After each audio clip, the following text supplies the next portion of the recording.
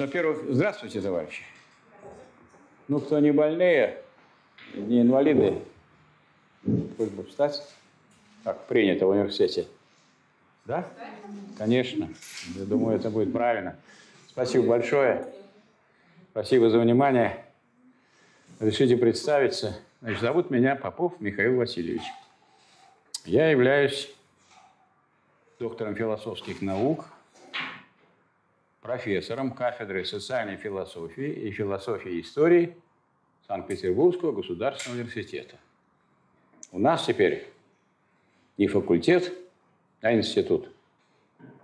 Одно время у нас были институты, они закрывались. В частности, одно время я работал на кафедре экономики и права Института повышения квалификации преподавателей нашего на переулке Декабристов 16 потом на кафедре философии и культурологии, а потом институт закрылся, а теперь новое время, снова начинают открываться институты. Вот на, 30, на 10 линии Васильевского острова, которая мне, например, знакома, как человеку, который кончал матмех, я математик по образованию, теперь там институт наук о Земле. Наука о Луне пока еще нет, а о Земле есть. Теперь, значит, наши э, два факультета, исторический и философский, в желтом здании на Менделеевской линии, дом 5. После ремонта там никаких, здравствуйте, никаких вывесок нету, как будто у нас секретный объект. Введены пропуска, чтобы никто не зашел и не узнал что-нибудь из философии или из истории. И э, были подготовлены решения о том, что будет один институт философии и истории или истории и философии. Но потом вдруг состоялось решение Большого ученого совета, и стало два института. Институт философии и Институт истории. Так что вот мы, не сходя с места, преподаватели писали бумагу о том, что прошу считать меня не профессором факультета философии, а профессором Института философии СППГУ. Ни в чем другом это не выразилось для нас, но выразилось для, для тех, кто был деканами. Деканы стали директорами. А что такое директор? Это управленец. Значит, у них отобрали ученые советы, другие люди пускай командуют учеными советами. Отобрали у них заведование кафедрами, пускай другие заведуют. Они теперь ходят в ректорат, получают задание, приносят и рассказывают, что еще хуже будет или что лучше. Так что вот такие некоторые изменения – Значит, я буду вам читать курс философии в соответствии с утвержденной программой. Вот, теперь хочу сразу сказать, что вот, наша программа предполагает, а, что вы в любой момент можете задать вопрос, что у нас, так сказать, не просто лекционные занятия, у нас достаточно много выделено времени на этот курс – у нас получается значит, две, два занятия в неделю, две пары. Вот. Второе, если вы хотите высказаться, у вас какие-то есть сомнения, соображения, критические замечания, это приветствоваться будет обязательно. Так, поскольку имеется в виду, что ну, вот эти занятия должны способствовать вашей подготовке, поскольку центральной фигурой университета является не преподаватель, а студент. Правильно? Ну, это странно было бы, если бы университет сделали для преподавателей. Правда? Очень смешно было бы, чтобы нам была нагрузка, и вот мы бы тут были бы центральной фигурой. Отсюда и так сказать, соответствующий подход. Вот я бы спросил так, вы вот собираетесь экзамен сдавать или держать? Сдавать. То есть вот прийти, не расплескав мне сдать и пойти освобожденным. Или прийти со знаниями, выдержать испытания экзаменационные и дальше использовать в дальнейшей текущей работе. Поэтому вот, мне кажется, вы поторопились насчет сдавать. Лучше держать экзамен. И так раньше и говорили. Выдержал испытание. Вам тоже газета, где я главный редактор на общественных началах. Спасибо. Деньги я получаю в университете как профессор. А это, так сказать, я с 96 -го года главный редактор, поэтому у меня такой опыт есть в журналистике. Это российская общественно-политическая газета, зарегистрированная еще Министерством печати и информации в 1991 году. Поэтому в известном смысле мы с вами коллеги, друг друга должны понимать. Ну и моя задача помочь вам разобраться в тех вопросах, которые усилят методологическую базу вашей профессиональной деятельности. Сразу скажу, что центральное место в моем курсе будут занимать вопросы диалектики, которые, ну, скажем, я ей занимался специально, и таких специалистов очень мало. Вот, и прочитать по ней, можно сказать, нечего, кроме одной единственной работы, которая называется «Наука логики Гегеля». А Гегель, я думаю, вы знаете, это крупнейший философ, идеалист, идеалист. Но он разработал диалектику. По поводу этой работы Энгельс написал, что вот самый короткий путь изучения диалектики – это изучение науки логики Гегеля. Как он это написал? Так написал. Единственный компендиум, компендий диалектики содержится в науке логики Гегеля – мы с моим коллегой, профессором Казеновым, обратились к латинскому словарю и узнали, что компендий – это кратчайший путь, прямая дорога. Вот вы хотите прямой дорогой идти, кратчайшим путем, или будете по болотам, по кочкам, по бурьяну, как вот вы хотите идти. Поэтому я думаю, что мои лекции не заменяют этой книги, а помогают ее понять. Это раз. Второе.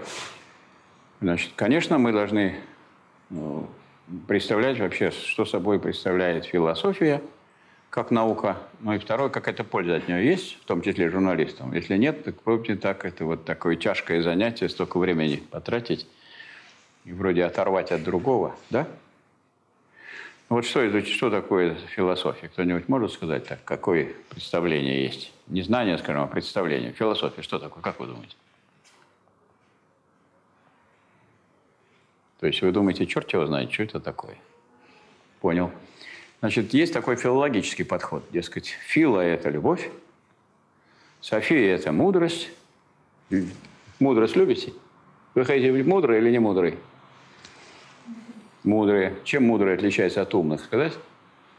Умные, они знают выход из любого положения. Мудрые просто туда не заходят.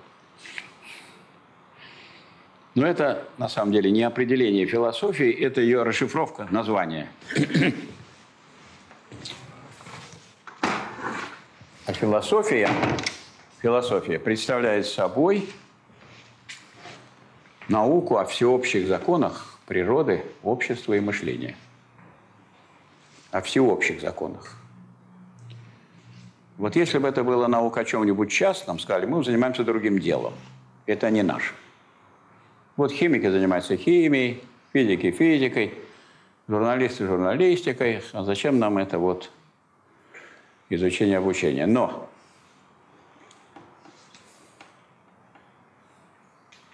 есть еще всеобщие законы, которые действуют во всех сферах и философия – это единственная наука, которая изучает эти всеобщие законы. И незнание философских истин и всеобщих философских законов означает, что мы будем делать ошибки не в частностях, а в крупном, главном и основном. В частности, вот, опыт преподавания моего на разных всяких отделениях и на разных специальностях показывает, что как только доходит дело до понятий, которыми занимается философия прежде всего – и я сразу хочу сказать, с каким уклоном я буду преподавать. Раз есть всеобщие законы природы, общества и мышления, то если, скажем, изучать всеобщие законы мышления, то мы узнаем и общие законы природы и общества. Правильно? То есть как бы сокращаем путь. Почему? Потому что то, что отлагается в мышлении, в голове, в языке, я имею в виду не русский язык, не английский, не французский, не эстонский, не японский. В человеческом языке отражается, отлагается то, что повторилось миллиарды раз. Правильно?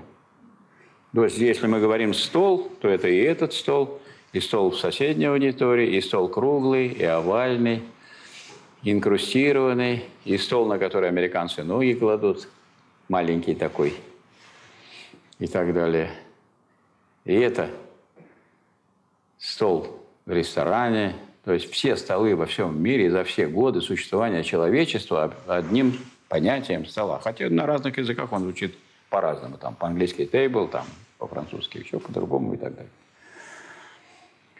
Поэтому если мы хотим проникнуть э, в понимание всеобщих законов природы и общества, э, ну, журналистам приходится писать и про природу, и про общество, и про мышление. И не делать тут ошибок, а наоборот, народ просвещать, то, конечно, самый короткий и удачный был бы ход, если мы бы всеобщие законы мышления изучали – и это развивало бы наше мышление и в то же время позволяло нам освоить эти самые всеобщие законы. Хочу сказать, что самое ближайшее знакомство с тем, как, насколько люди могут понять, чем они занимаются, показывает, что они, как правило, не понимают. Вот, например, я преподаю историкам раз, музеологам два, конфликтологам три, ну, нашим философам, само собой, философам четыре – вот. Религоведом пять. И вот кого я историкам я говорил, и вот кого я не спрошу про их науку, они ничего вразумительного сказать не могут. Например, ну вот сейчас мы с вами, я хочу вам проиллюстрировать, то есть, скажем, Гегель говорит по этому поводу, что известное еще не есть от этого.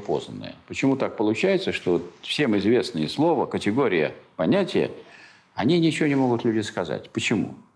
Ну, она же всем известна причем с детства. А если с детства известно, ее никто не обдумывает, кто будет обдумывать известное? Неизвестное ты не успеешь обдумывать, а что обдумывать известное? И так вот с, с детскими представлениями люди заживают до глубоких седин. И вот представьте себе историков. Вот я сегодня, в среду им преподаю. Спрашиваю, что изучает история? Ну, как вы думаете, что изучает история? Представьте себя на месте историков. Это наши коллеги, наши братья по разуму. Что изучает история? Ну, журналисты должны знать, что изучает история. Мы без истории-то нет, так сказать, и современности без истории, правильно? Что изучает история? Ну, события. События, оторванные друг от друга, да, выхватывает события и изучает. Нет. Как изюм из булки выковыривает и изучает. Так не пойдет. Лет. Как? Цепочку, Как? Цепочку событий. Их влияние на развитие общества. А какие события? Нынешние, прошлые, позапрошлые? Какие? А?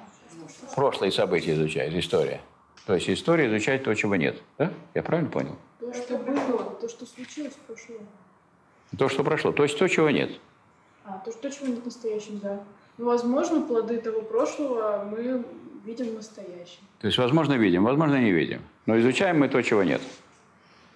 Ну, так получается. Формально, фактически. да. Ну, логически так получается, да? Если так вот э, говорить, что мы изучаем прошлое, как вот вы сказали очень просто и понятно, то отсюда также понятно, что историки изучают то, чего нет. Вы-то изучаете то, что есть, а они изучают то, чего нет. И приходят они на работу. Вот этот вот третий курс я с ними работаю. Приходят они на работу, говорят, я в фирму.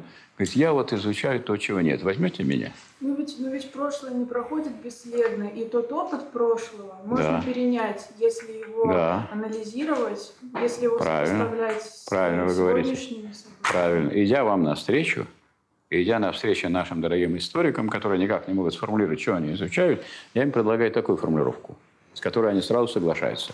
История изучает современность как результат предшествующего развития человечества. Я думаю, это вам будет самое близко. Вот вы ближе всех тут подошли к этой мысли. Правильно? Если люди приходят и говорят, не то, что я пришли наниматься на работу, говорят, я изучал то, чего нет. Это один разговор. Я изучаю современность как результат предшествующего развития. А вот этих не берите, они только берут последние события без корней, без того, как к этому все пришло. Это пустые люди, ничего из этого не выйдет. Правильно? Вам же основательные люди нужны на работу. Правильно? Серьезные? Ну вот, берите меня. Современность как история изучает современность как результат предшествующего развития человечества. Теперь вот не далее, как сейчас новый семестр начался. Вот как раз у меня сидят сейчас музеологи. Как я их увидел, думаю, сейчас спрошу. Я уже знаю, что они не ответят. Ну, люди вот не занимаются понятиями, поэтому они никак... А журналисты вообще, это, это считай, что философы, только такие, которые на острие. Они только понятиями и занимаются. Они прямо вот выражают людям, прямо все разъясняют, растолковывают. Философы это иногда не растолковывают, они сам закроются сами для себя. И там, сказать, значит, обсуждают, что на острие иглы там, сколько поместится чертей. А журналисты должны идти к народу. Вот я спрашиваю, музеологи, вот музей это что? Кто скажет? Сейчас мы посмотрим, может, вы ответите. А они не могли ответить на этот вопрос. У меня свидетель есть. Вот товарищ, я пригласил специально, чтобы свидетель он такой. Сидит в красном и фиксирует. Так, музеологи не знают, что такое музей. Он смотрит, что и как вот люди изучают в нашем. Это уже музеологи там какого курса стоят? Третий курс, бешеный уже по возрасту. Четвертый курс, последний. Что такое музей? Ну, вам же придется про музей писать. А тут возьмет кто-нибудь и спросит, а что это такое?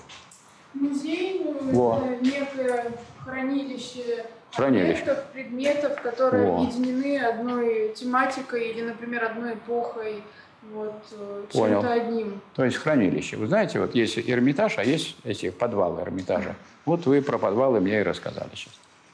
Некое хранилище, которое объединены. Хранилище. У вас Ну, получилось, нет, нет, не- что музей – это подвалы. Нет. э, Тогда просто- Не просто, Не просто. хранятся А, предметы. да, так а вы Они как? еще и для того, чтобы посетители с ними знакомились, чтобы они Так, видели. хорошо. Это, для- это предметы, чтобы с ними знакомились. А, следовательно, музей существует не только для сохранения, а еще для чего? Для ознакомления, Для ознакомления населения. Еще, что сказать, какие функции Просвещение. выполняет музей? А? просвещения. Просвещение еще. Есть музей, который изучает. А? Изучают еще. Изучает. Ну, Вот очень хорошо. Вот это вот я понимаю. Вот это правильно у нас пошел, так сказать, разговор. Для изучения. Ну вот теперь я могу вам дать. Я им дал, они записали, музеологи теперь пошли. Музей – это общественное учреждение, которое А. Собирает историко-культурное наследие. Б. Изучает историко-культурное наследие. В. Ну, сохраняет, конечно, и пропагандирует тогда это музей. А если что-то это не делают, то это не музей. То есть, скажем, если все лежит в запускниках, ну, это склад. Если оно пропагандирует, но не изучает, это слабый музей, так сказать. Музей должен же изучить, какова историческая ценность, что. Он должен преподать это соответствующим. Если нет пропаганды, тоже не музей. Так, берем еще наших друзей. Вот как раз у меня сегодня были религоведы. Я их спрашиваю, вы философы или не философы? Сидят люди, это все философский факультет, ну, институт философии. Я их спрашиваю, вы религоведы? Религоведы. Вы философы? Нет. Ну, уходите, говорю, туда двери открыты. Вы куда поступали? На философский? На философский. А что вы тогда затруднили? Нет, мы философы. А какие вы философы? Философы бывают теоретические, бывают прикладные. Вы какие? Мы прикладные. А к чему прикладываете? Ну вот философы, которые изучают религию, такое историко-культурное явление, как религия, называется религоведы. Ведать – это знать. Знать, что такое религия, понимать, там, разбираться, другим рассказывать. Ну вот так вроде с ними решили. Кто они такие? Приходишь к культурологам. Нас же много. Это все наши фило- философы, культурологи.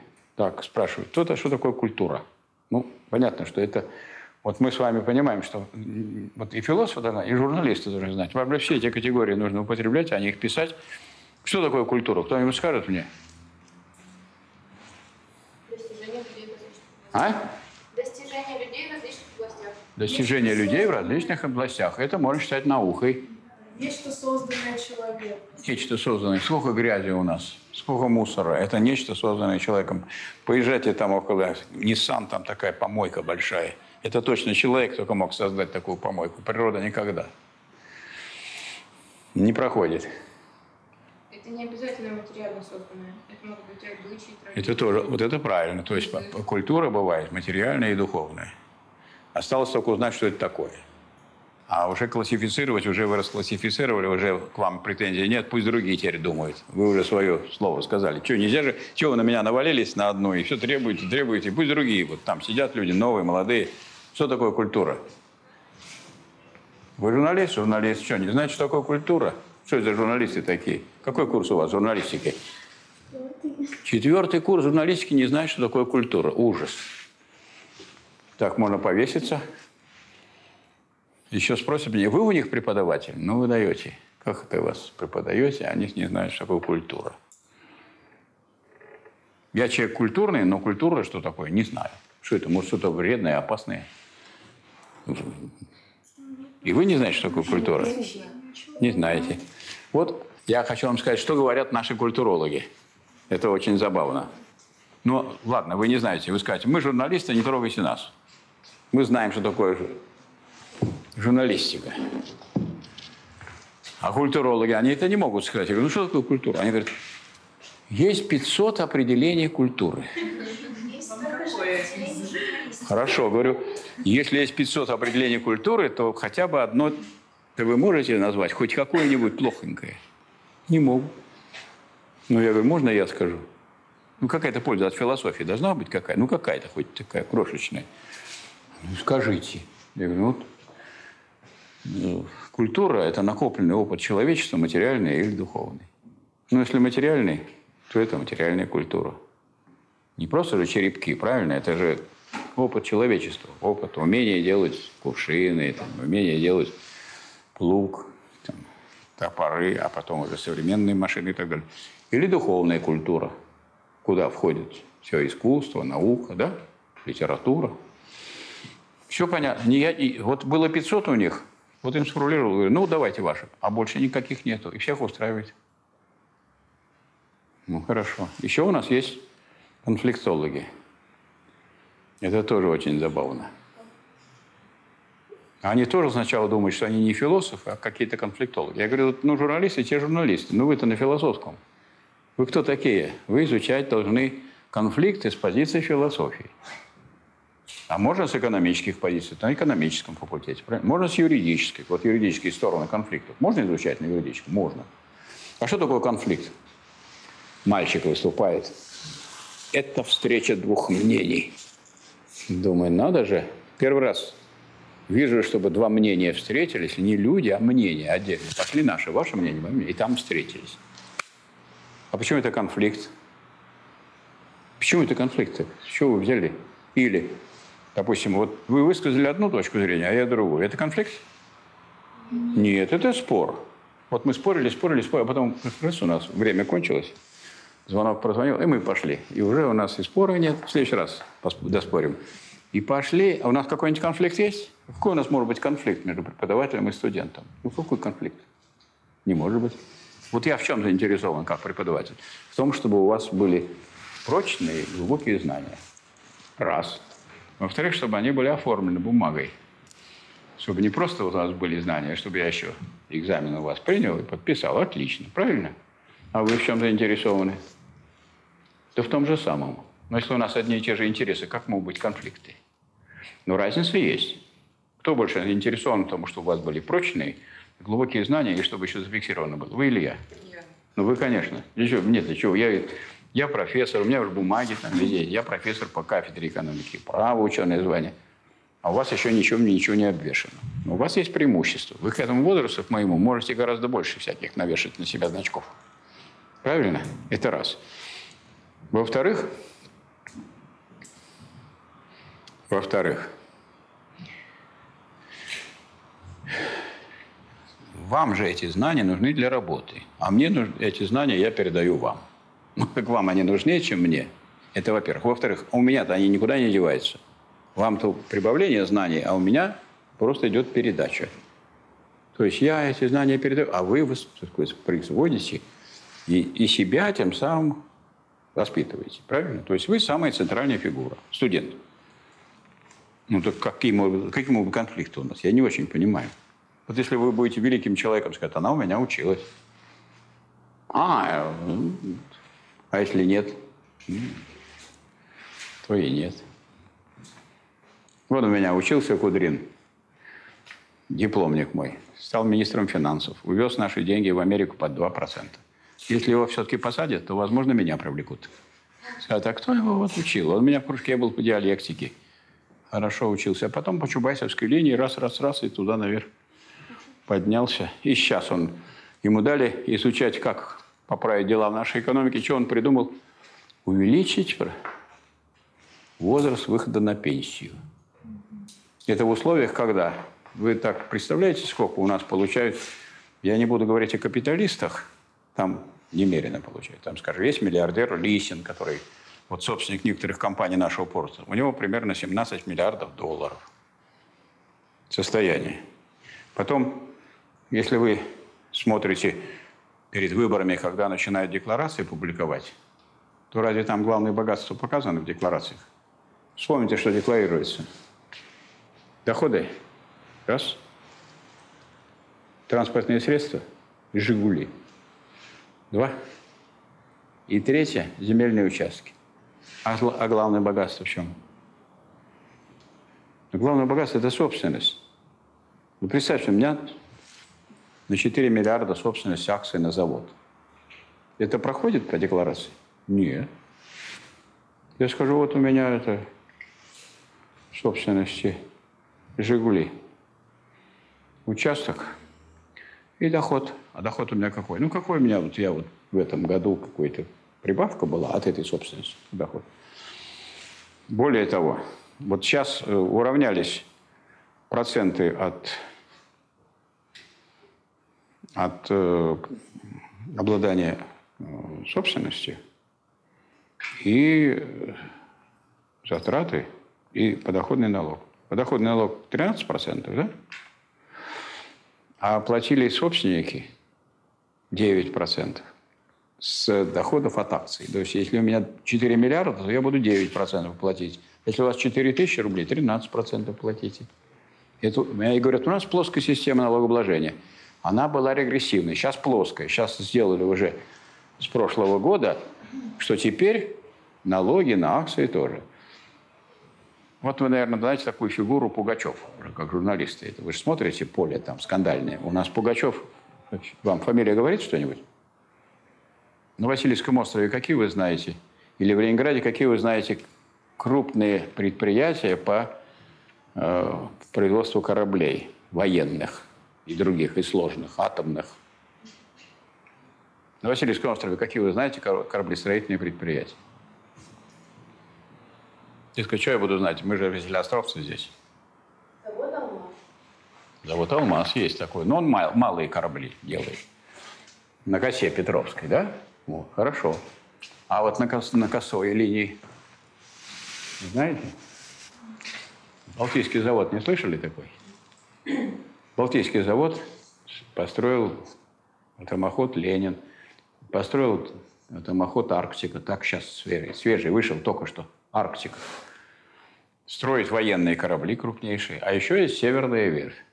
И вот, видимо, такой был собственник этих заводов Пугачев, член Совета Федерации. Ничего вам не говорит фамилия. Член Совета Федерации, у которой в собственности был Балтийский завод и Северная верфь. Ну, видимо, он на стройке работал, на вырученные дополнительные деньги купил два завода. Будем так считать. Как вот может стать собственником завода? И вот этот самый Пугачев довел Балтийский завод до ручки – до такой, что там, значит, начали бунтовать товарищи рабочие в связи с тем, что завод останавливался. И Владимир Владимирович Путин занимался, и придумали, что будут делать с этим заводом. Он уже весь был в долгах, как в шелках. Оставили на Балтийском заводе все эти долги. Такую операцию юридическую сделали. Всю собственность, все средства производства перевели в ООО «Балтинвест». И начали продолжать строить корабли. А долги так и повесили на том предприятии, которого нет. Пугачева все у него забрали, выгнали его из Совета Федерации, Пугачев уехал за границу, и там находится он розыске. То же самое и, Северную верфь у него отобрали. И они теперь входят в государственную кораблестроительную корпорацию. Но это вот собственники – а, а как вот насчет руководителей этих госкорпораций? Как, какие у них доходы? Ну, когда мы вот обсуждаем вопрос о пенсиях для народа, мы, наверное, должны думать, а как у нас с деньгами. Вот вам известна такая корпорация Роснефть, да? По идее, по идее, у нас много сейчас государственных корпораций. Я могу вот сейчас бегло перечислить вам – Роснефть, Газпром, Ростехнологии. Это могучие такие. двигателестроительный, кораблестроительный, самолетостроительный, вертолеты России, космическая корпорация. А всего государственный сектор, включая оборонные предприятия, которые под смирными такими названиями существуют, мы даже не знаем. Всего государственный сектор на сегодняшний день 70% составляет нашего производства.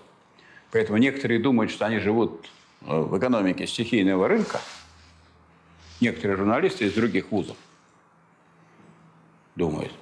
Вот в университете профсоюза, в других. Но наши университета Санкт-Петербургского знают, что уже это единая монополия. Только это единственная монополия в мире, у которой нет плана внутри монополии. Вот вы можете сказать, вот представьте, компания Shell, допустим, и нет плана развития монополии Shell. Такого не может быть. Или там Boeing. У Боинга нет плана? Есть. И у всех компаний крупных есть план. А у нас государственная монополия, и все отдельно хозяйствуют сами по себе. А если отдельно они хозяйствуют, это некоторый аналог того, как было послереволюционное время.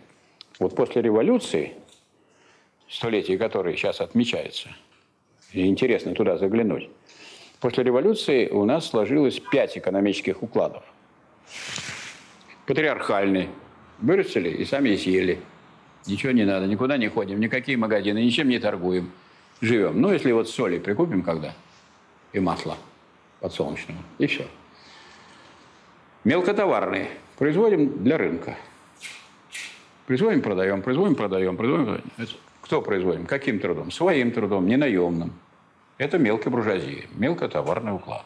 Мелкая буржуазия – это мелкий хозяйчик, хозяйствующий на рынок.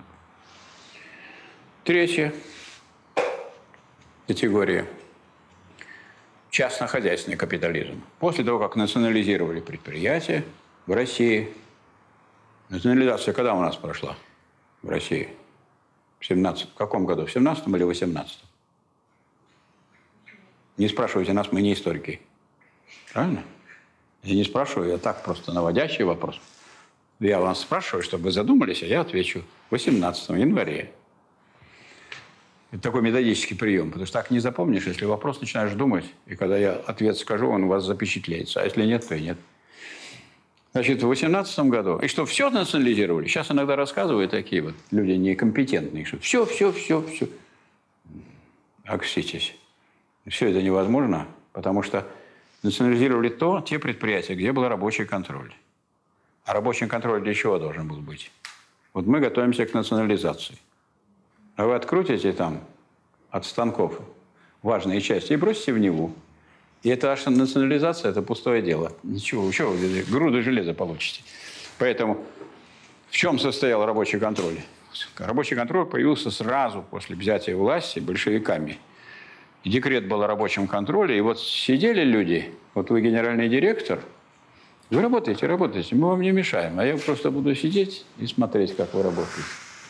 Потому что потом если вы не согласитесь быть уже директором того предприятия, где вы сейчас собственник, после национализации, то я буду.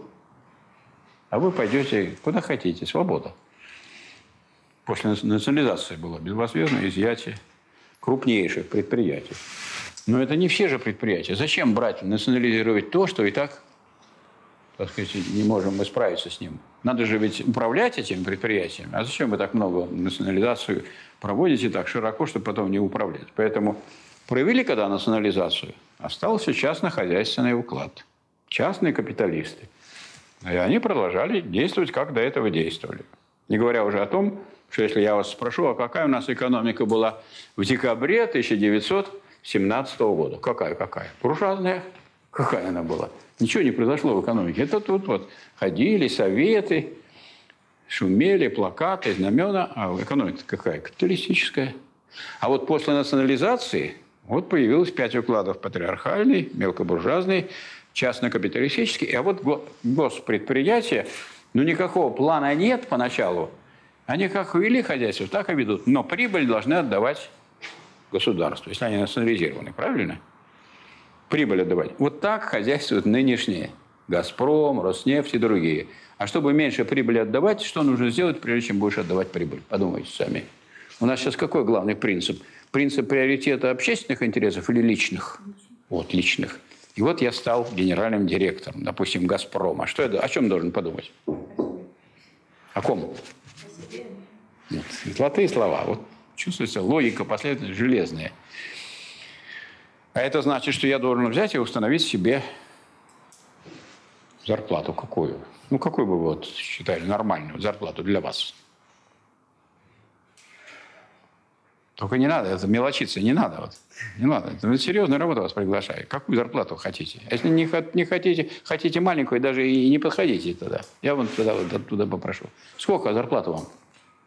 В месяц? 80 Чего 80? тысяч. А? Чего 80? Тысяч? Фу. Даже не хочется разговаривать. Извините, пожалуйста. Значит, берем наш «Газпром», а, газ, не, «Роснефть». Члены правления «Газпрома». Насчет руководителя нет данных, не скажу. А вот члены правления 24 миллиона в месяц. 24 миллиона. А что вы, серьезный человек. Подождите. Скажите, пожалуйста, хоть, ну, допустим, вы не экономист, но знаете, что зарплата входит в издержки производства, правильно? Поэтому это же частное предприятие. Оно государственное, но оформлено, действует как частное, отдельное, изолированное, самостоятельное.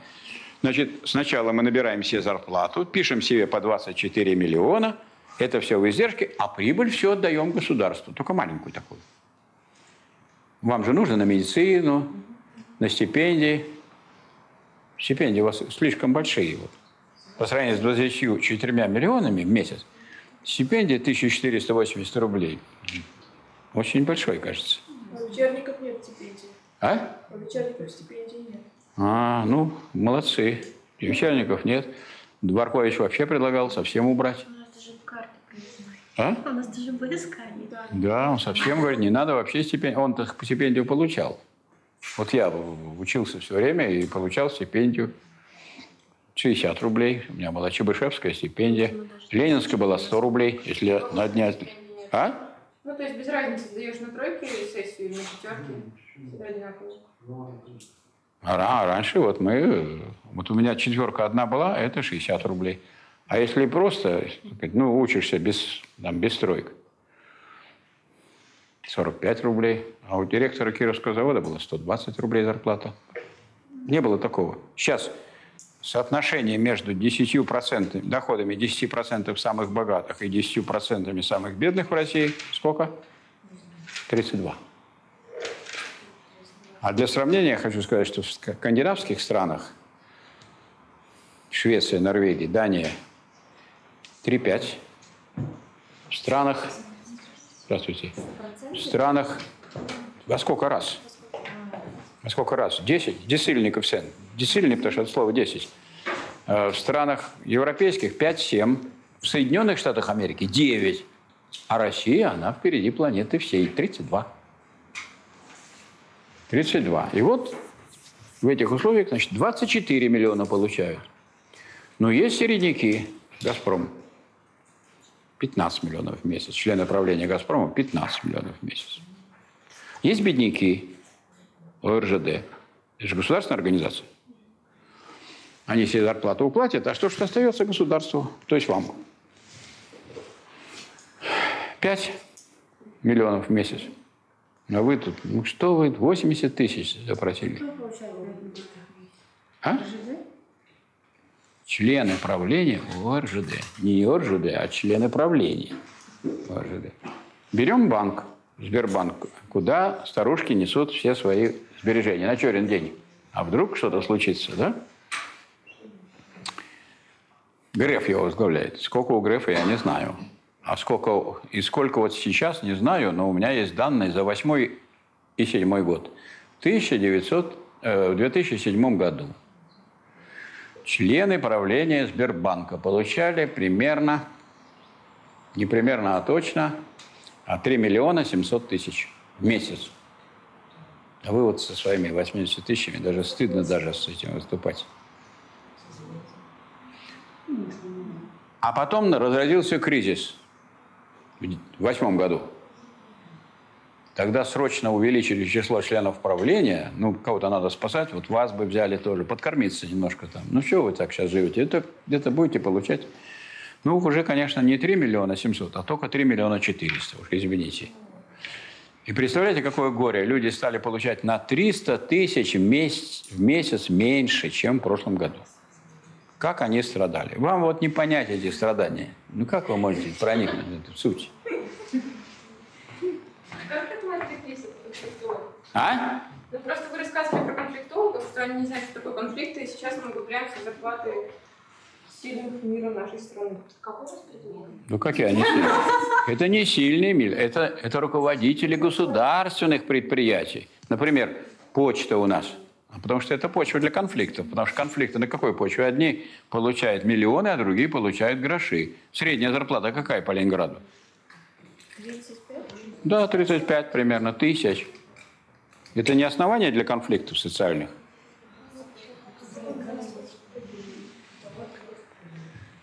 А безработица у нас есть? Тоже основание для конфликта. Нет, а, если есть безработица, это значит, ну, первый год вы можете встать на биржу, а через год до свиданица, уже никто ничего не платит. Все, как хотите. Вот у нас есть право на жилье? У всех? Право у всех есть. А жилье у всех? Нет. У бомжей право на жилье есть? Есть. Они сидят на помойке. И право у них есть. Кто-то продал, кто пропил. Да, да, так и бывает. А были бомжи до того, как стали покупать, стали приватизировать квартиры? Не было. Ну а как? У всех были же квартиры, все же были. Ну вот я, я э, решил дочке подарить свою квартиру. Я продал, пошел покупать квартиру, которую собрался, а у нее цена. Я с горя выпил. А когда выпил, я уже и совсем не мог купить. Тогда я еще больше выпил. А на эти суммы я теперь ни комнату не купить, ничего не могу. И кто я стал? А тут меня подвыпившего, раз, взяли у меня паспорт, оформили на меня фирму, а потом меня обвинили в уголовном деле. И все на этом, и денежки плакали. Эти бомжи, вот это что, плохие люди, они не образованные, что ли? Они читают, сидят летом на помойке, читают, там все приходят, книжки туда выносят, продукты кое-какие туда попадают. Но зимой они умирают, если не найдут теплые какие-нибудь ходы в канализационной системе или никогда не заберутся в теплое место. Вот сейчас отличная для бомжей зима. Хорошая. Тут не умрут. Но когда 27 минус, то, конечно, другая картина. А никто их и не считает. У них и паспортов-то нету. Они как бы живут, но без жизни. Вы меня правильно вернули к тому, как конфликтологи определяют конфликт. Я уже сказал, одни говорят встреча мнений. Другой мальчик говорит, это разногласия. Ну, это спорт и есть разногласия, правильно? Вы одно говорите, гласите, глаз. Я другое. Разногласия – это не конфликт. Ну вот мне пришлось им объяснять, что конфликт – это обострившиеся противоречия между людьми. Причем обострившиеся до такой степени, что сила аргументов начинает заменяться аргументами силы. Вот когда я не убеждаю вас, а начинаю гадать какие-то тяжелые вещи и кидать уже в студента, это точно конфликт. Или студенты. Слушали, слушали, а потом начинают брать что-нибудь тяжелое кидать преподавателя. Вам просто хочется кинуть, но жалко свой вот этот телефон. А так вы его бросили. Ну, к примеру, там. ну.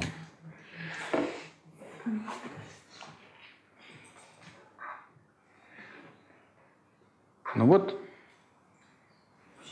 философия позволяет нам видеть нашу действительность, которая есть, более глубоко. То есть нельзя сказать, что вот картина, которую наблюдают журналисты, неправильная. Правильная. Но есть такое понятие вот, ну, в философии – правильность и истинность. Вы удовлетворяетесь правильностью или еще истинностью будете избавляться? И за истину или только за правильность? Так, вы тут в замешательстве.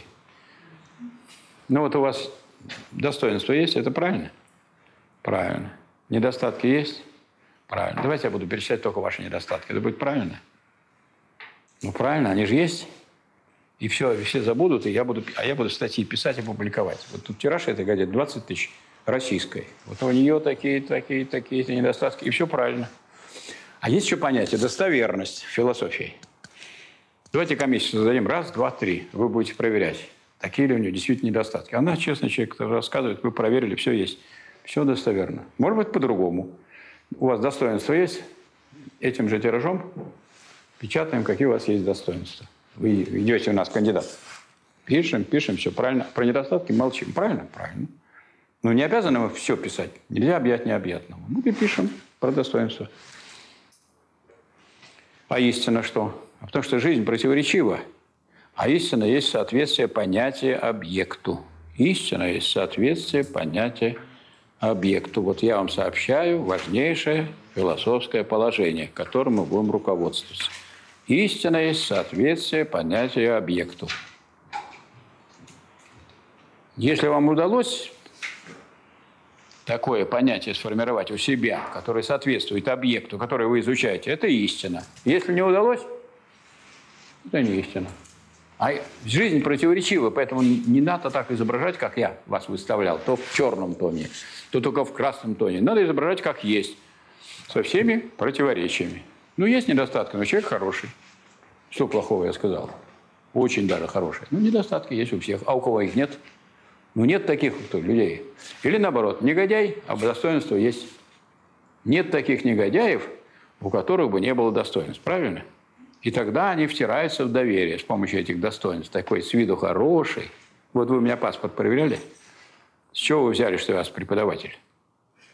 Чего народ такой наивный? Вот приходит кто-то, неизвестно откуда, приходит, тут начинает выступать. Ну, взяли бы, проверили паспорт. А вы, Михаил Васильевич, ну вот вы знаете, кто мы, а вы кто такой? Ну, я вот вам сказал, и вы поверили. Ну, то есть, с журналистской точки зрения, может, вы правы. А с юридической точки зрения, как это вот? Кто-то тут приходит, вещает. А? Да, да, да. Сейчас знаете, сколько таких? А в чем состоит мошенничество, не знаете? Как определяется в уголовном праве, в уголовном кодексе? Вот вы же мне доверили сейчас. Доверили? А злоупотребление доверием называется мошенничество. То есть вы доверили, а я начинаю это как-то выманивать у вас какие-то. Давайте телефон мне. Я буду показывать на нем, что такое собственность. Не хотите, нет? Не хочет давать. Не доверяет уже. Зря я все сказал. Это все. Ошибся. Ошибку. Осечка. Но это и все про истину. А вот если я уже познал предмет, истину, и хочу его преобразовать, поскольку истина бывает только вот с позиции отражения действительности, отразил и все. А ведь люди-то, они преобразовывают же мир. И вот если я, основываясь на вот этом истинном знании, могу мир преобразовать, то уже я должен, имея в голове идею, преобразовать действительность. И тогда это будет. Вот действительность должна это соответствовать чему? Понятию о ней. Ну вот Растрелли сделал Смольный собор. Ну, не сам только один, там еще другие. Немножко там кирпичи клали. Но прежде чем начали класть кирпичи, в голове была вся картина этого Смольного. Вся полностью. Сначала идея, а потом, в соответствии с этой идеей, стал возникать Смольный собор. Также и Монферран поступил. Я тоже думал, как, вот говорят, Монферран сделал. Вот, наверное, построил. Наверное, трудно ему было вот эти колонны поднимать, правда же? Колонны так. Все остальное вроде мог бы поднять, но колонны одному трудно. Как кто-то ему помогал. Но то, что Монферрана в голове сначала было, у архитектора, это факт. И только тогда можно построить такое творение. Или Таврический дворец. Ну, Екатерина его подарила Потемкину. Так? Соответственно, улицы Потемкинская, Таврическая, Таврический сад, и вот тебе дворец. Ну так строили как в те времена? Вот если у нас что-нибудь упадет, какое-нибудь здание, это когда построено? Давно или недавно? Недавно. недавно. Сразу, если падает, значит, недавно построено. А если не падает, значит, да, это давно. Это при феодализме построили это здание.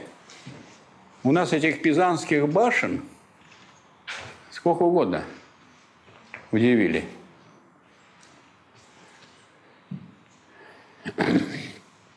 Пример. Я живу около Светлановской площади, а проспект Энгельса рядом проходит, и на нем стоят сталинские дома. Стоят, как будто они вот вчера построены такие. И вдруг одно решили, один сталинский дом раз, разобрать и построить новый. И рекламировали. Продаем квартиры, здание Нью Сталинка.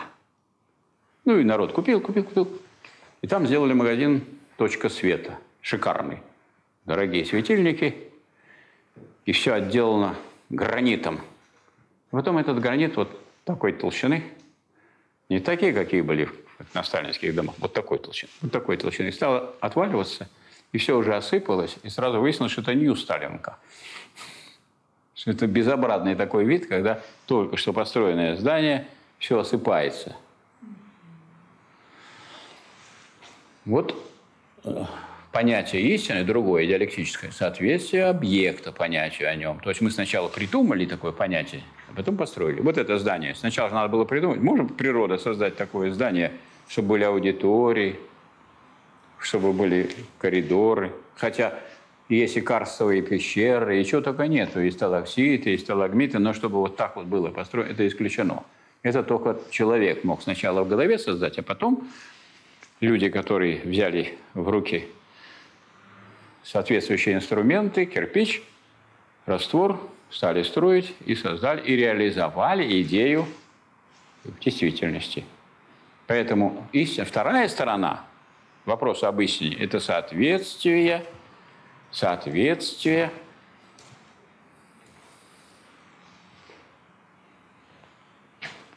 объекта понятию о нем. То есть будущего объекта. Вы так это поняли?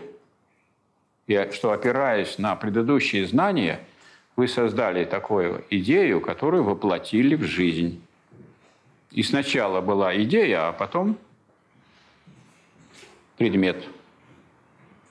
И это как бы похоже на идеализм. Правда, мысль, она породила другое.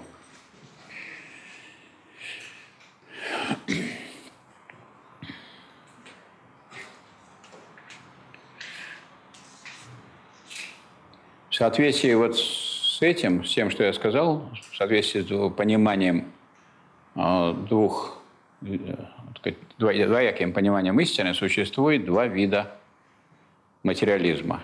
Материализм созерцательный, фейербаховский. Это отражение мира в головах людей –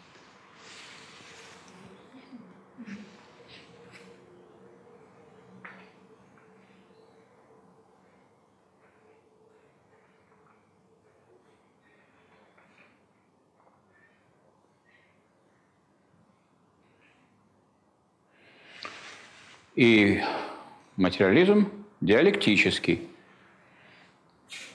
Это преобразование мира в соответствии с понятием о нем.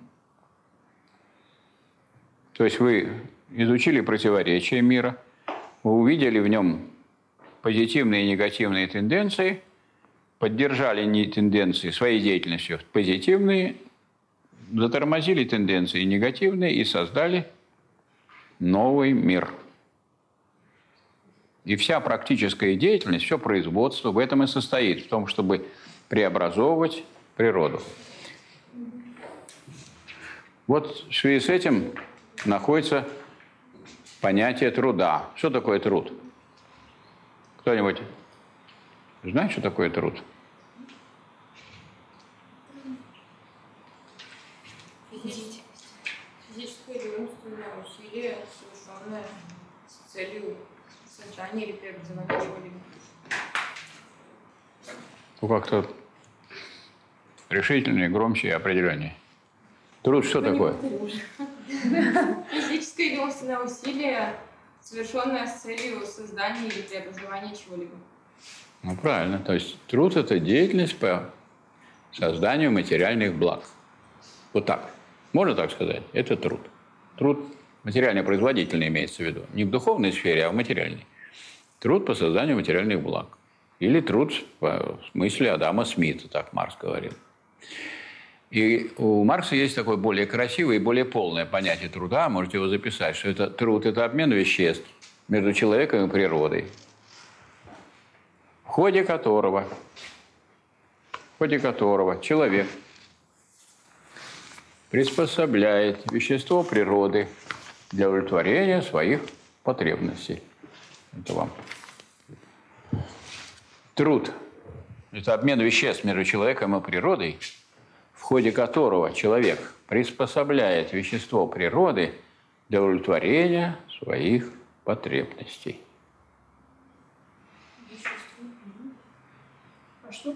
Обмен веществ между человеком и природой, в ходе которого, в ходе обмена, человек приспособляет вещество природы для удовлетворения своих потребностей. Что под Под веществами подразумевается то, что является предметом труда. То есть то, что вы берете из природы и используете для того, чтобы приспособить для удовлетворения своих потребностей. Чтобы использовать воду, так, полезные ископаемые, ресурсы растительные, лес, например, дерево, из которого делаются деревянные столы, всякого рода газы, из которых делаются вот такие столы пластмассовые. Тут опилки и, и покрытие, и покрытие, пластм, покрытие пластмассовое. А тут вот э, древесно-стружечные плиты, которые, так сказать, долго не выдерживают присутствие студентов. Вон уже, видите, задрался. Вот, пошел процесс прихождения. Это называется прихождение на философском языке. А есть понятие производства, которое не надо путать с понятием труда. Это более глубокое понятие. Производство. Это мало кто знает. Труд еще вот знают, а производство, я думаю, никто и не сформулирует из присутствующих. Ну, потому что это такой уже специальный экономический термин. Производство есть процесс присвоения предметов природы. Производство есть процесс присвоения предметов природы в рамках определенной формы общества и посредством нее. Производство есть процесс присвоения предметов природы в рамках определенной формы общества и посредством нее. Сейчас я повторю, не, не расстраивайтесь. Производство есть процесс присвоения предметов природы в рамках определенной формы общества и посредством нее.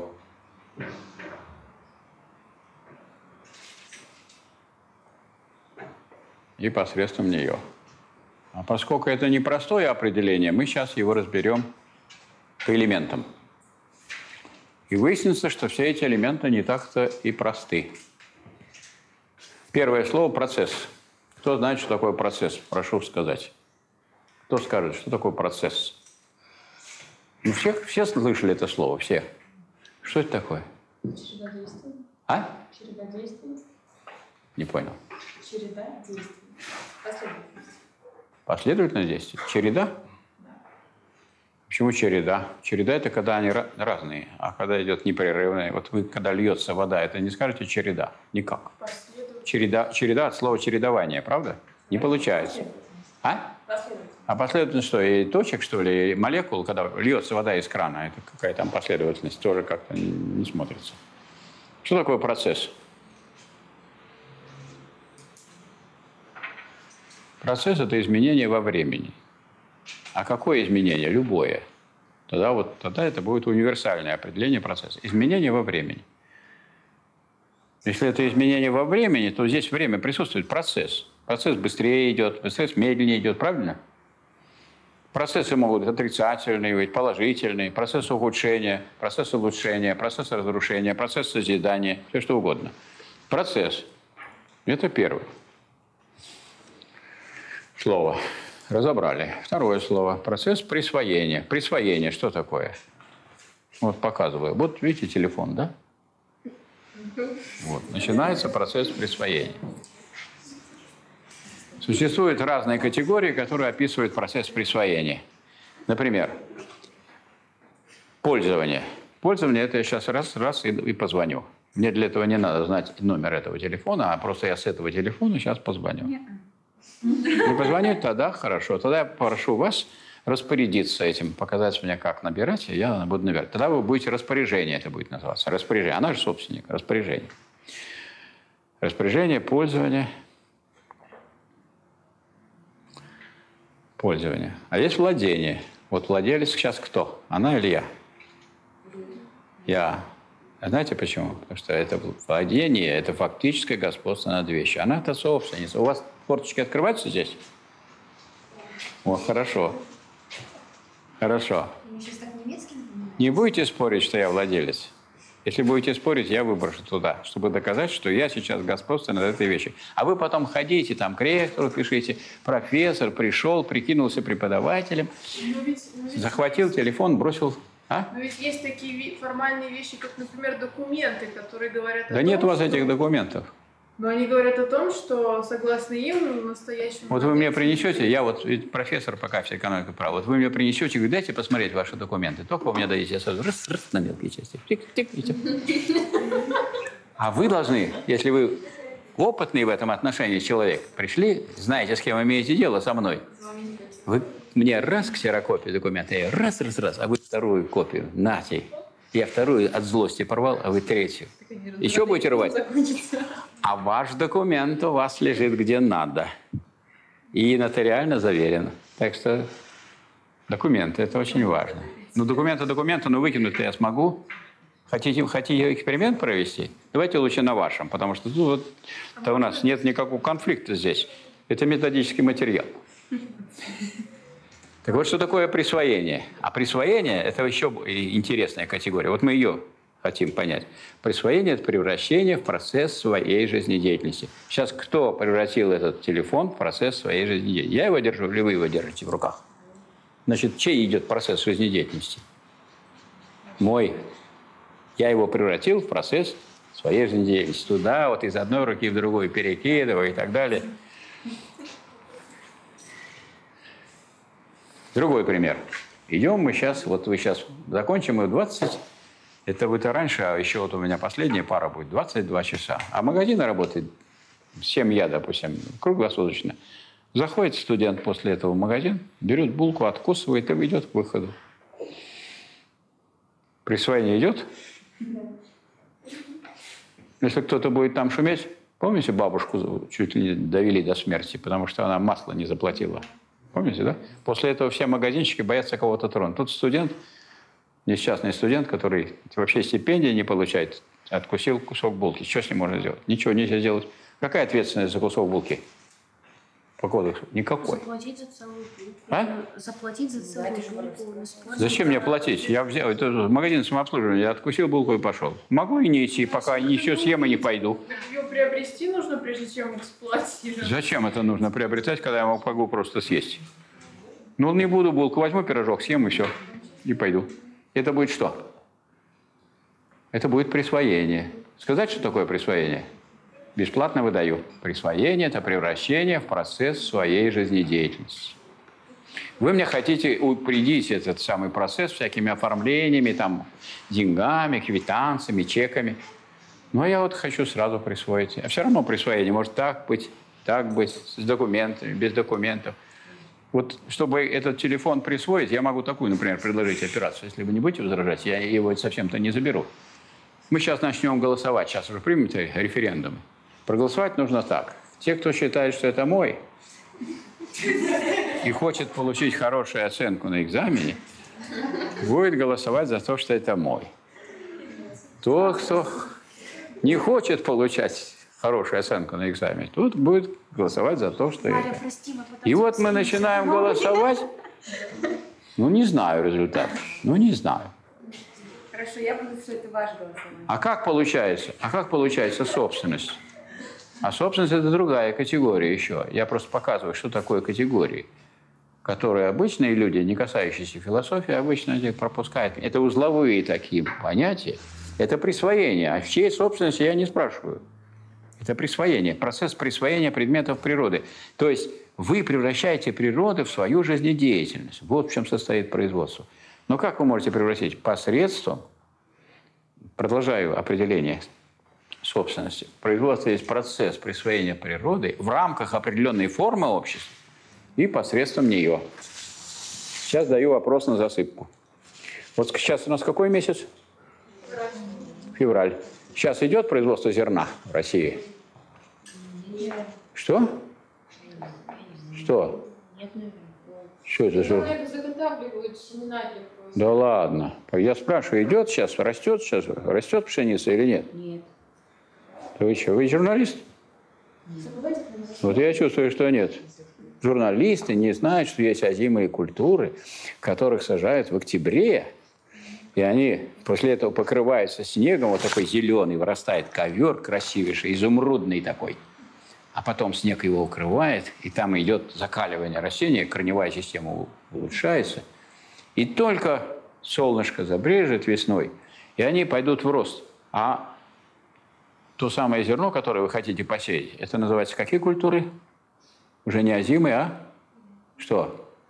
Ну, дама есть у нас в Думе, яровая. Не слышали, что ли? Вот яровые культуры. Это ее культуры.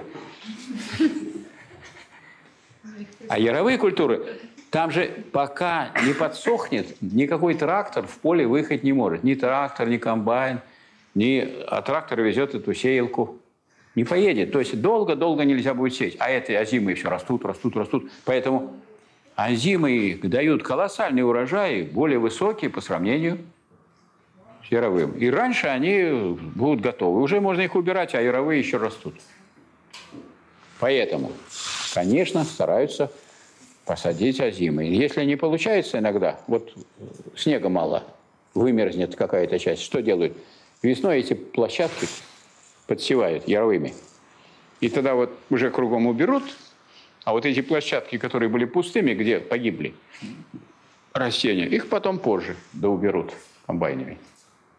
Значит, может быть так, что труд никакой не... Вот обратите внимание разницу между трудом и производством. Труд никакой не совершается сейчас на полях, где озимый посеян, а производство идет пшени- хлеба. Идет? Ну, а вы что говорили? Вы что народ обманываете-то, товарищи журналисты? Вы правду говорите? Другой пример. Вино знаете, как делается? Из чего делают вино? Ну, если это не, это если не боярышник, а виноградное вино, то его делают из винограда. Как его делают? Сначала делается сусло. То есть выжимают этот виноград, говорят, что это молодые девушки ногами топчут, и получается сусло. Из этого сусла можно, значит, часть соки делают виноградные, вторая часть на вино. Вино бродит, потом, когда оно перебродит, его наливают в какие бочки? Небольшие, об- обдубовые. Вопрос не в количестве, а вопрос в каком из какого. Дубовые. Обязательно дубовые бочки, потому что в дубовых, бочках оно может со- созреть это вино. И дальше, и дальше его закладывают в погреб, и там вино стоит, выдерживается. Какое вино больше ценится, выдержанное или не выдержанное? Почему выдержанное? Потому что представьте себе, вино десятилетней выдержки. Десять лет мужики стояли, ждали, когда можно будет это выпить вино, какая в нем сила заключена. Поэтому оно очень дорогое. А этот один месяц там, или год, там, это вино, оно не ценится. Выдержки, коньяки, там, вот такой, пятилетней выдержки. так далее. И вот когда оно в бочках стоит в погребе, производство идет вина? Да. А труд? Нет. Поэтому не путайте труд и производство. Ну, это важно же это понимать. И, и во всяком, вот, скажем, современ- при современных технологиях, вот, скажем, я установил на станок, на станке с программным управлением программу, включил станок и стою, жду. А идет обработка. Что в это время происходит? Я тружусь? Нет. А что я делаю? Наблюдаю. А производство идет. А потом закончился цикл, я снимаю, ставлю новое, включаю оно, новую программу, поехали дальше. То есть и мы тоже должны это все различать. Вот мы с вами будем разные категории определять и фиксировать, чтобы мы точно знали, что и как правильно называется, начиная от самых простых. А чтобы э, сказать, это было систематически, конечно, мы будем начинать не с таких сложных, как мы сейчас брали, а с самых простых. Какая самая простая категория? Вот проще нет. Никто не знает. Ну, это так всегда бывает. Вот самое простое обычно и не знают. Тут вот я такие сложные спрашивал, тут это знает, а простое никто не знает. Что за дела?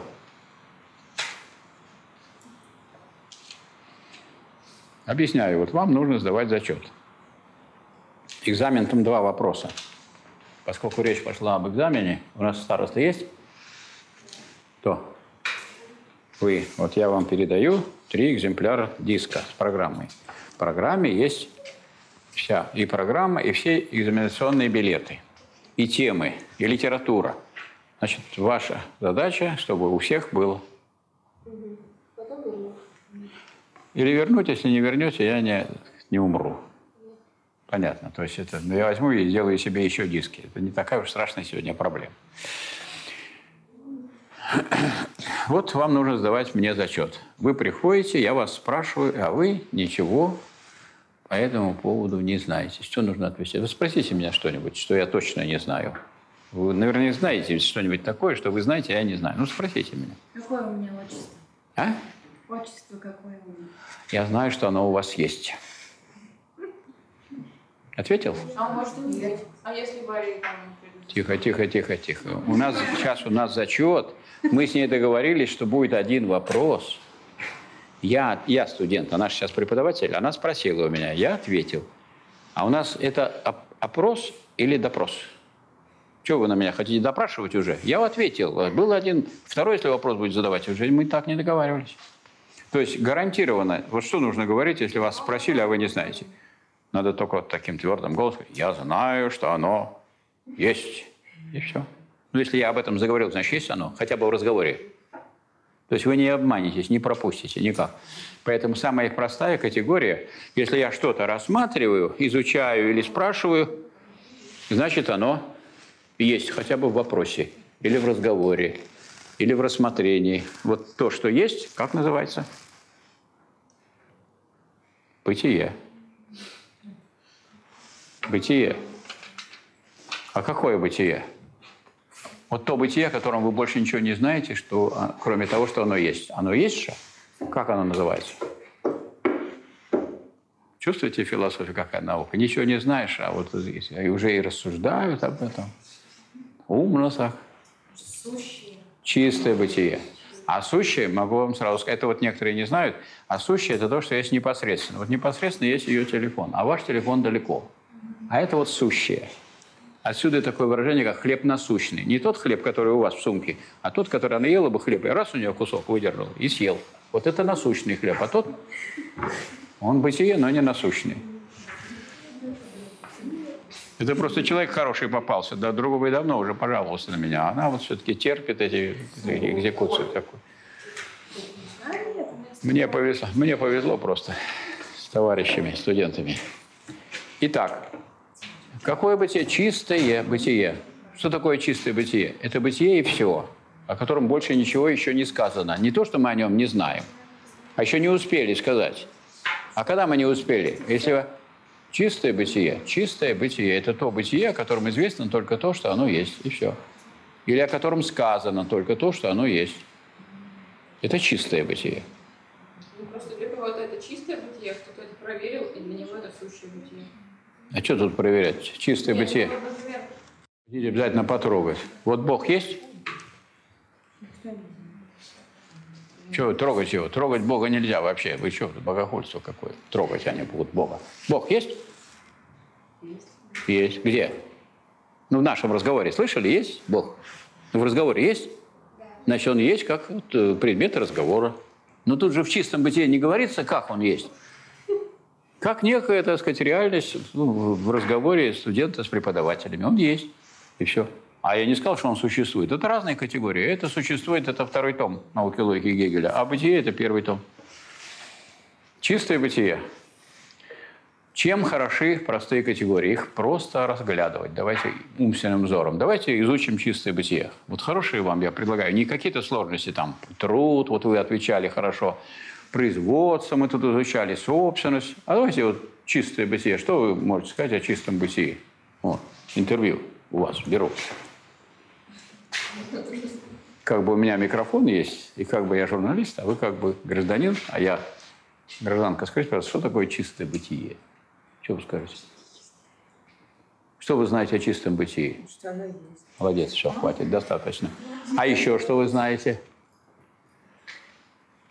Ну, смело говорите, ничего больше не знаю. А что, если оно чистое, что мо- чего можно знать? Чистое бытие – это та категория, когда то известно только то, что оно есть. И больше нечего об этом сказать, как о таковом. Поэтому не вы виноваты, что вам нечего сказать, а категория такая. Не надо про нее больше говорить. Все, сказано. Вы исчерпали, вы дошли до дна. Вот люди думают, чего-нибудь познать до конца. Есть такие простые категории, которые вы до конца уже познали. Какое там познание, что показалось, что чистое бытие есть, и все. И больше нечего об этом сказать. Вы обратили внимание на конец моей фразы? Раз больше нечего об этом говорить, то выяснилось, что чистое бытие в нашей голове с вами перешло в ничто. Нечего сказать, в ничто. То есть, если вы будете изучать чистое бытие, ваша мысль приведет вас к мысли о ничто. Тогда будем изучать ничто. Кто хочет изучить ничто? Это какое ничто в самом начале? Что вы о нем знаете, кроме того, что оно ничто? Ничего не знаете. Значит, какое это ничто? Чистое. Как несуществующее? Вот оно, мы о нем сколько говорим, а вам не существует. В нашем, вы вообще недооцениваете наш разговор. Серьезные люди говорят. Студентка с профессором обсуждает, а вы, да ничего, вообще нет и не существует. Ну, это неуважительно по отношению к студентке. Ну, я профессор, да черт с ним, ребят. Так, чистое ничто. И вывод какой? Вот люди не привычные к диалектике, к философии, они тут застревают и грустят. А на самом деле это мы одно движение мысли зафиксировали переход чистого бытия в чистое ничто. Правильно? Вот теперь вам поручается рассмотреть чистое ничто. Что вы про него можете сказать? Молодец. О, вот, чувствуете? Вот уровень.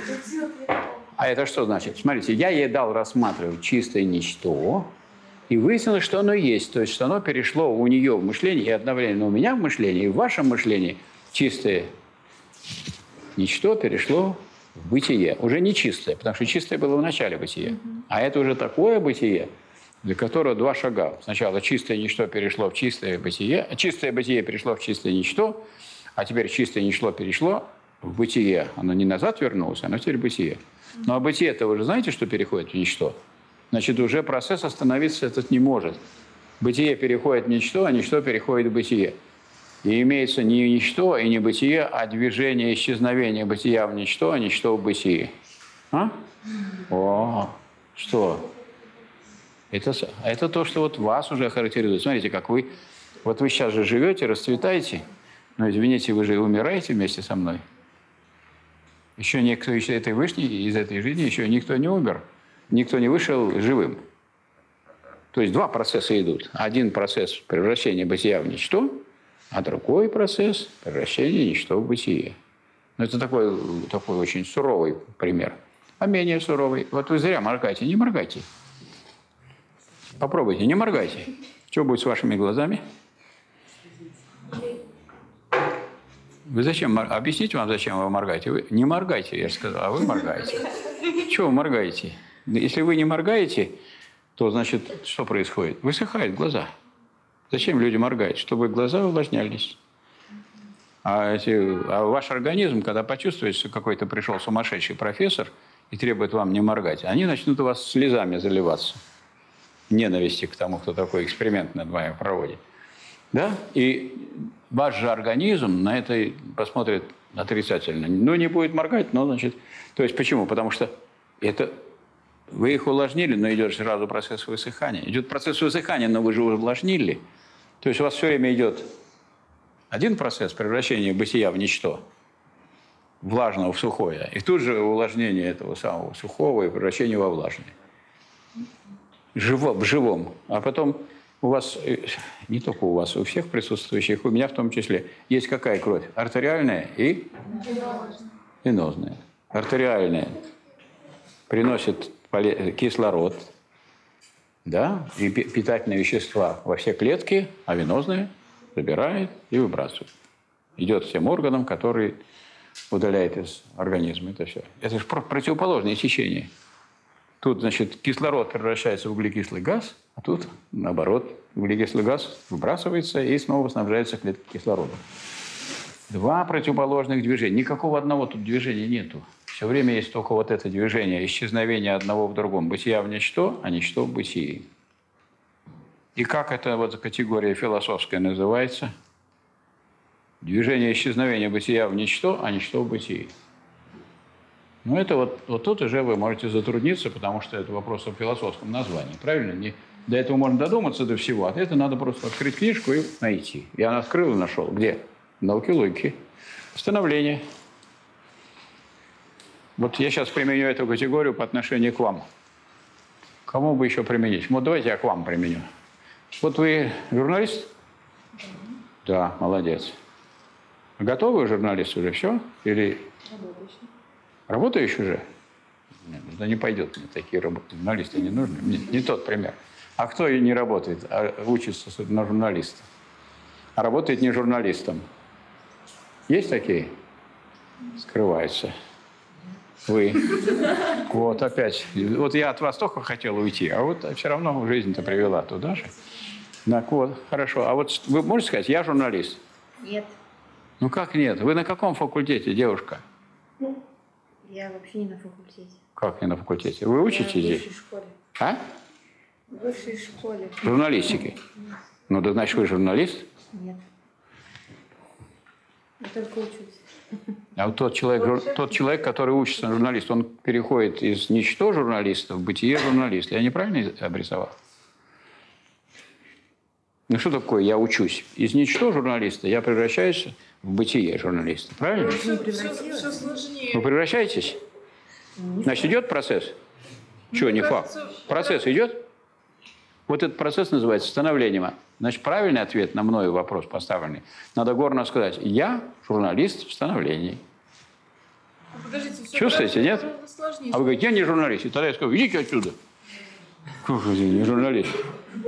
Я журналист в становлении города, так сказать. И что-то вы спорите? Я говорю, что меня это смутило, потому что мне кажется, все сложнее. Человек может проучиться на факультете журналистики или на каком-нибудь другом, а потом всю жизнь заниматься чем-то иным и вообще ни разу А он не... всю жизнь будет журналист в становлении, потому что в становлении есть два противоположных движения. Они называются, минуточку, они имеют свои названия. Одно вот это превращение ничто в бытие называется возникновение журналиста, вот оно идет, а может, как вы правильно сказали, ничем не закончится. А идет другой процесс. Вот то, что я вам рассказываю, тут же вы и забываете. И не только я, и другие, и то, что читаете, забываете. И идет противоположный процесс. Вы из журналиста превращаетесь в нежурналиста. То есть при этом остаешься журналистом только В становлении. в становлении. Только То в есть становлении бывает или движение вверх, и от ничто в бытие, или вниз. А- Вот движение вниз называется прехождение. Оно заканчивается, вот если... в Не обязательно. Оно может и не заканчиваться Всю никогда. жизнь можно до конца жизни. Всю жизнь, все. Вот я, вот я всю жизнь, я вот, у вас уже диплом, вот журналиста, вы нигде не работаете журналистом, мечтаете, уже пишете и даете, а никто не печатает, сволочи. И вы так все время в этом самом прихождении А находитесь. в каком случае может быть этот процесс завершен? Окончательно и... А вот, вот, для этого, вот для этого это надо опять вывести на философский уровень. Смотрите, значит, что у нас получается. В становлении есть два, вот есть такое понятие, два противоположных движения. Вот два противоположных движения в одном движении называются моментами. Не кусками, не частями, не элементами, не структурами, а вот это, ну, у вас в душе идут процессы и такой, и такой. И это моменты. Вот у вас там добро борется со злом, к примеру, или это с этим. Это моменты. И нельзя их превращать в какие... Я не могу у вас вырезать часть, которая неподвижная, и оставить подвижную. Или подвижную вырезать, оставить неподвижную. Это, когда говорят, что человек находится в становлении, ну, весь находится в становлении, правильно? Весь. Весь он находится в процессе. Ну, про вас не буду говорить, я-то, ну, как всякий живой человек, я двигаюсь к завершению жизни, так? То есть умираю. И в данный момент я умираю. При этом я могу и развиваться. Вот я с вами сказать, разговариваю, обсуждаю и развиваюсь как преподаватель. Это же развитие, это движение вверх. А есть еще и движение вниз. И оно есть у каждого человека. И есть все время. И человек может стать журналистом прекрасным и говорит, вот он в расцвете сил, как у нас бывает про профессоров пишут. Вот ему 83 года, он шел, запнулся, и сам в расцвете сил и умер. 83 года. Это, конечно, сомнительно, что это самый расцвет, но так обычно пишут. Потому что, ну, время, оно же никого не, не щадит. Поэтому, поэтому даже критерий такой существует. Как оценивать людей? Не, не сколько они прожили, а что они за жизнь сделали. Правильно? Вот если вы сделали много и продвинули человечество вперед, как вас называть? Человечество, если продвинули вперед, как вас называть? А? Как? Правильно? Гений, вот. Гениально. Это хорошо у нас получается с вами. Гений, конечно. А вот человек способный, ну, этот растратил свой талант. Ну, способный, талантливый человек – это способный. И никакое человечество вперед не продвинул. Или задвинул его назад с помощью своих способностей. Это гений? Нет. Гений и злодейство несовместимы. Берем фигуру Гитлера. Гитлер – талантливый человек? Вот вы книжку написали? Да. А Гитлер написал «Майн кампф». А вы картину нарисовали? А Гитлер картину нарисовал. А вы сумели дойти до Москвы со своими войсками? Против могучей, так сказать, советской Красной Армии? Сумели? Не смогли. А Гитлер смог. Полководец или нет? Это Сталин, говорят, не полководец. Он просто мешал советскому народу победить. А советский народ сражался, а Сталин стоял и не давал им победить. Ну так, я читал то, что пишут некоторые коллеги наши. А Гитлер, он большой полководец. Ну, то есть, точно он талантливый человек. Но гений? Нет, конечно, потому что он злодей. А гений и злодей. То есть гением называется не вообще любой талантливый человек, а такой, который смог употребить свой талант для того, чтобы продвинуть человечество вперед. Поэтому мы хотим вас славить. У нас вот есть сейчас гениальные музыканты. Сейчас, сейчас есть? Плетнева знаете Михаила Васильевича? Не знаете? А чего вы не знаете гениальных русских музыкантов? Значит, композитор раз, пианист два, руководитель Российского национального оркестра три, художественный руководитель. Лучший в мире музыкант. Берите любое произведение, которое он исполняет, и увидите разницу по сравнению с теми, с другими, которые с ним соревнуются. Или вот у нас есть балерина скромная в Мариинском театре Лопаткина, Ульяна. У нас вообще балет прекрасный. Вот смотришь, как танцует, как танцует. Потом выходит эта самая Лопаткина. И она все это меркнет по сравнению с ней. То есть она просто летает. И сама она такая крупная, вот так кости широкие, угловатые. А потом, когда она танцует, ну просто чудо. И это чудо не, не гремит, ну, как пустые ведра некоторые гремят иногда. Старые пустые ведра все гремят, им все хлопают. А вот она есть. И вот, скажем, задача журналистов, если гении, это надо поддерживать их. Правильно? И отличать, вот что лучше это поддерживать. Это наша задача. Это преобразующая сила журналистики, правильно? Вот это вот мы будем поднимать. А это вот будем критиковать, травить. Гадость какую-нибудь. Травить же надо ее, правильно? Травить умеете всякую гадость, какая у нас есть в жизни? Если у меня что-нибудь найдете плохое, травите. Только поможете мне. Я быстрее освобожусь. Вот я думаю, завтра уже от вас поступить письмо. Это будет первая ваша работа ректору. Что вот вчера, там и так далее. Начало я уже, мы с вами составили. Так. Это очень важная категория. Сейчас я вот отвечу на ваш вопрос. Что дальше? Вот смотрите, что получается. У вас было бытие и ничто.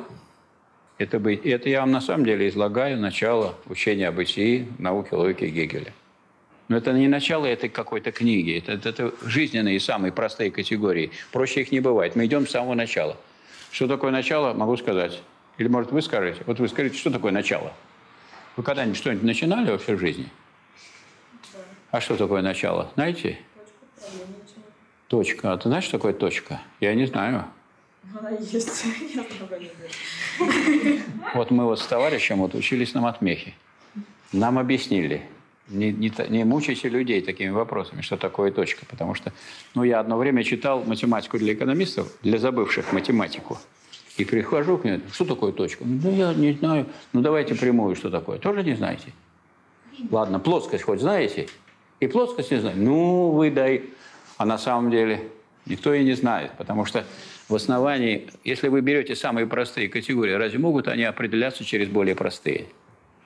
Поэтому нельзя дать определение вообще. Нельзя дать определение точки. Просто, когда вы построите здание на этом основании, где в основании лежат неопределяемые понятия и недоказываемые положения, которые называются аксиомами, и вот тогда дальше все доказывается. А это первое не доказывается, а просто берется. Поэтому напал я на вас и зря. И зря. А вы не должны этого знать. То есть, поэтому ваше определение не подходит через точку. Все равно никто не знает, что это такое. Дайте вам, давайте я вам дам лучше диалектическое определение э, начала. Если вы начинаете какое-то дело, то оно же результат имеет, да? Если вы не знаете результат какой будет, что вы начинаете? Давайте, говорит, начнем. Вот сейчас давайте столы будем двигать. А зачем? А не знаем. Давайте двигать. Это будет перестройка. А что вы это не выверните свою эту кофточку, тогда наденьте? Это будет что? Реформирование. Согласны? Ну, форма другая будет. Реформирование. И вот ходили, Ельцин приставал говорит, давайте реформировать будем. Так реформы разные бывают. Форму измени, например, кожа у человека – это форма. Что главное у человека, кожа или сердце и мозг? Сердце, ну. Да. А 60% кожи, если поражено, живет человек? Нет. Ну, Так то есть так можно дореформировать. Так вот заводы некоторые реформируют. Где эти заводы? Нету.